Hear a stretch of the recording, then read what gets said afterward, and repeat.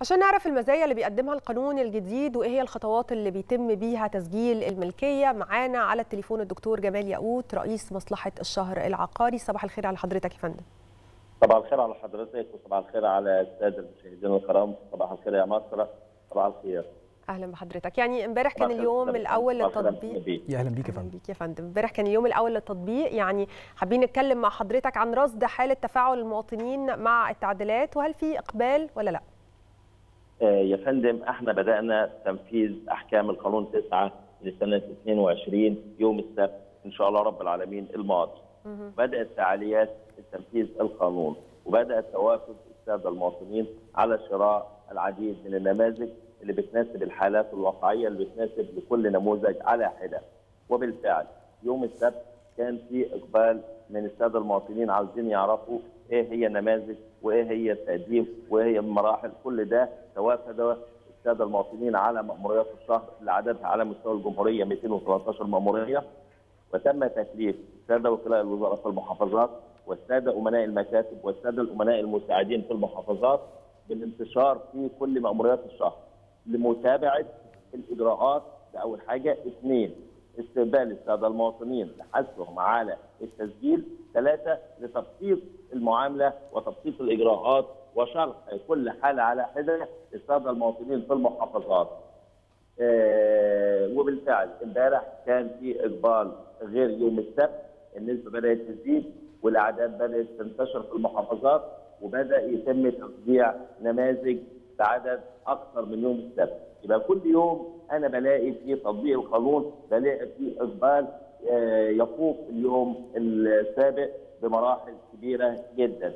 آه، عظيم. إحنا النهارده آه، برضو بنتابع مأموريات الشهر هنا في القاهرة وكل المحافظات كل الأجهزة الإشرافية بتتابعها وبيصل في نهايه اليوم تقرير رسمي من كل محافظة يوضح عدد النماذج اللي تم بيعها. عدد المشاكل اللي موجودة وبنلاقي نسبة آه في مشاكل ولكن هذه النسبة لا تمثل شيء بالنسبة للإقبال وتوزيع النماذج. عظيم. إحنا في تفاصيل كتير جدا عايزين نتكلم فيها مع حضرتك. يعني ال- ال- المواطن اللي هيروح يسجل إيه الأوراق المطلوبة؟ المواطن هيستفيد إيه؟ طيب لو ما سجلش إيه اللي هيحصل؟ لكن عايزين في البداية نتكلم عن نقطة كانت غاية في الأهمية. مفيش شك إنه القانون القديم كان فيه بعض التعقيدات في مسألة سلسال الملكية والناس ما كانتش بتبقى قادرة تجيب الورق بتاع سلسال الملكية فإزاي قدرنا نتجاوز هذا الأمر في القانون الجديد؟ شوف فندم أنت سعادتك آه، ذكرت يا محمد بيه وقلت إن القانون القديم كان فيه بعض المشك- المشكلات وبعض التعقيدات. هو أنا ممكن أتحفظ لسعادتك على هذا اللفظ هو كان القانون القديم مليء مش بعض ده مليء. ببعض المعقدات اللي كان جعلت عزوف كامل من الساده المواطنين عن التسجيل. مدة التسجيل كانت سنة وسنتين ودي أطول مدة تسجيل على مستوى العالم. بحسب وقسم التشريع وقطاع التشريع في وزارة العدل اطلع على كافة التشريعات الدولية لم نجد قانون نقل ملكية عقاريه في كافة دول العالم يسمح بنقل الملكية في خلال سنة وسنتين، دي كانت حاله مطلقة. بحثنا في كل القوانين الدولية والعالمية عشان نشوف طول مدة إجراءات التسجيل نشوفها بهذه المدة وتكرار نفس الإجراءات وارتباط القوانين نقل الملكية في كافة دول العالم بقوانين أخرى وبجهات أخرى ما لقيناش ده موجود إلا في مصر. كان موجود في مصر ليه يا فندم؟ كان موجود في مصر لأن القانون 114 سنه 46 عندما أنشئ سنة 46 في عهد الملك فاروق ما كانش فيه قوانين نقل ملكية في أغلب دول العالم. فكان القانون ده لما اتوضع وتم تعديل هذا القانون وتم قانون شرع عقاري كان بيعالج فترة زمنية معينة اللي هي فترة سنة 46 وارتباط ال- ال- الدولة عدد صغير من المعاملات عدد صغير. إنما إحنا دلوقتي كل قوانين الدول العالم بدأت تتطور كل قوانين العالم بدأت تتحدث فيما عدا القانون الشهر العقاري في جمهورية مصر العربية لم يأتي على مصر لا ملك من سنة 46 ولا رئيس يقتحم هذا القانون بمشاكل إلا في هذا الوقت وفي هذا الزمن.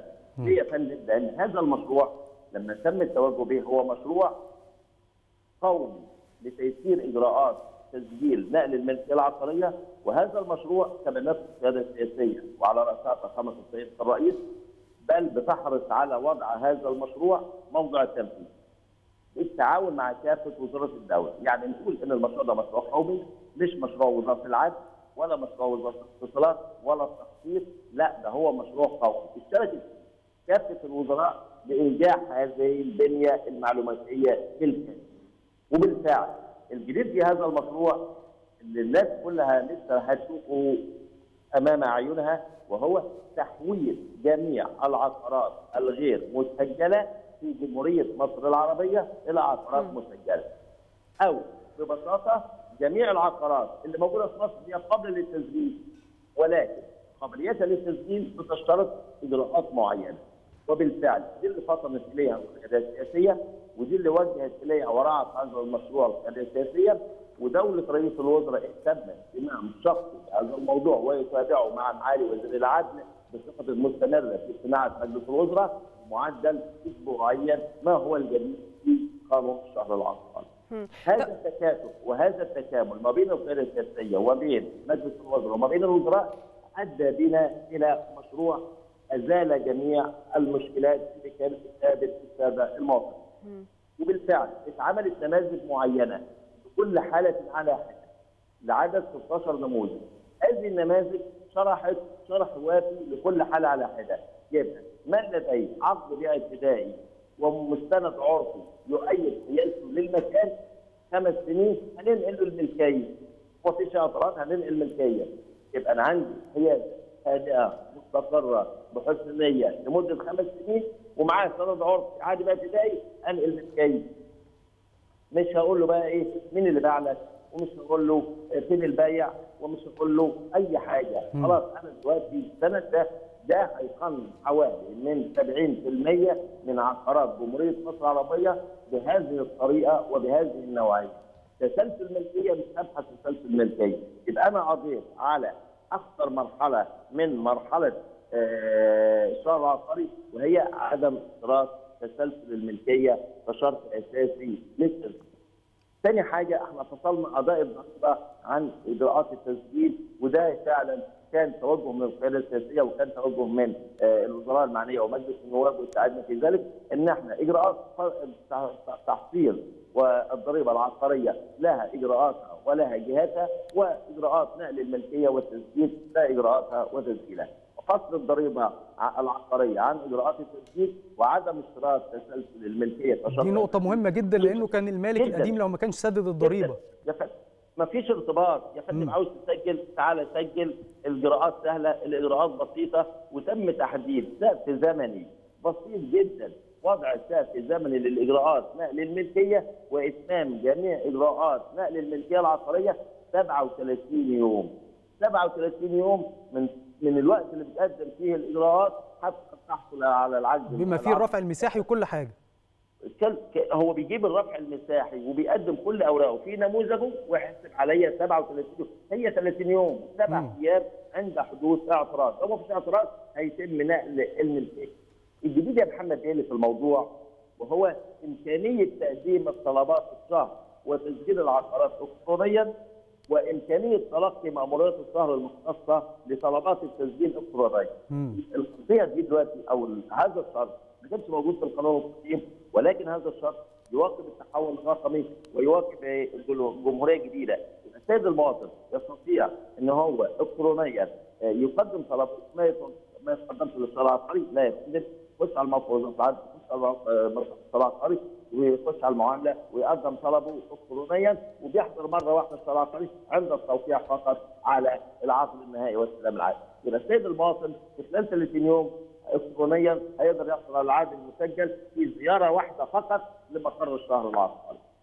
آه كل هذه الإجراءات وكل هذه التيسيرات سوف تأتي بنا بالخير إن شاء الله رب العالمين على مصرنا الحبيبة ونقدر نقول بتطبيق هذا القانون وداعا لكشف التحديد المفتاحي وداعا لتسلسل الملكية كشرط أساسي للتسجيل وداعا لمرحلة مقبول الشهر وداعا لمرحلة امتداد الطلبات وعدد المدة الأيام وداعا لطول الإجراءات وداعا أمام الازدحام مأموريات الشهر.